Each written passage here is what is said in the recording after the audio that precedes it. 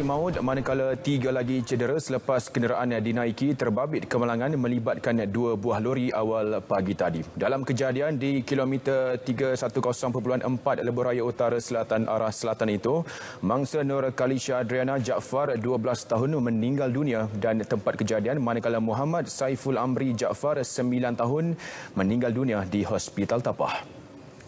Ketua Polis Daerah Kampas, Superintenden Muhammad Nazri Daud berkata, tiga cedera adalah bapa mangsa Jaafar Ahmad 49 tahun serta dua lagi adik-beradik mangsa yang berusia 14 dan 6 tahun. Manakala seorang wanita yang dipercayai tunang kepada bapa kanak-kanak tersebut tidak mengalami kecederaan. Kes disiasat mengikut Seksyen 41-1 Akta Pengangkutan Jalan 1987.